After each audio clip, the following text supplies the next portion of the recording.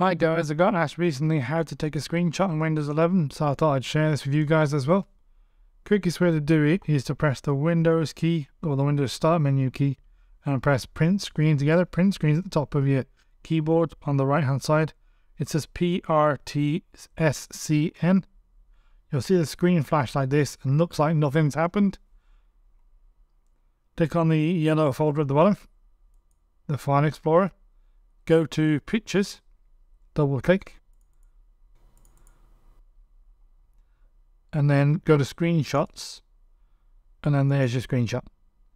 You can then email this to anybody you want or send it via messenger if you're trying to show somebody something's wrong on your computer. Another way to do it, if you don't want to take the whole screen, this takes the entire screen as is, close this box and click on the start menu, type in snip. It should bring up the snipping tool left click. Okay, bring this into the center.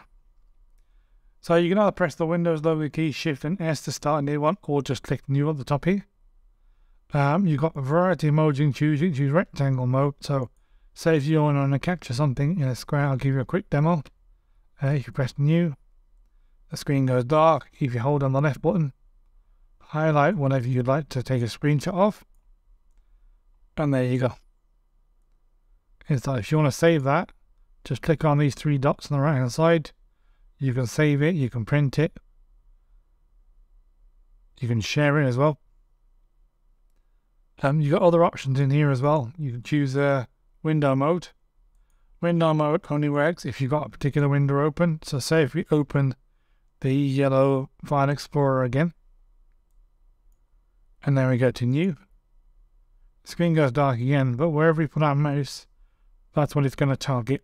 So if we click on this window, it should take a screenshot and there it is. Okay, next thing to do is freeform mode.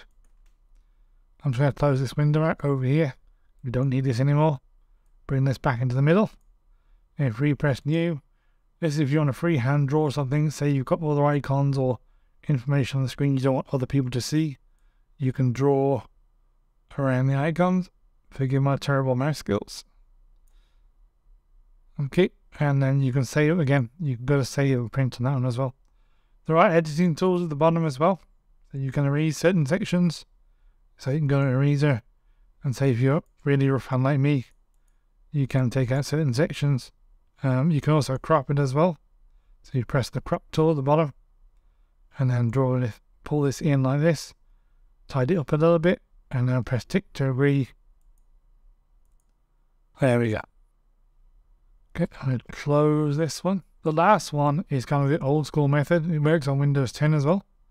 If you just press the print screen on its own, you will see your mouse cursor flash on the screen. In order to get this to save anywhere, you have to open up a paint program. So click on Start, type Paint. You can use anything if you've got Photoshop or any other paint program, you can use those as well. And then you left the guy over here or click open. And then what you have to do is paste it into here. So you can go the little paste icon here. If you don't have paste, but just press Control CTRL plus V on the keyboard, it will paste it as well. And there you go. And now we can go up to the File menu, click Save As, and choose your format. Okay, you can also print it from here or send it to somebody. Hope you found this useful, guys. I'll see you on the next one.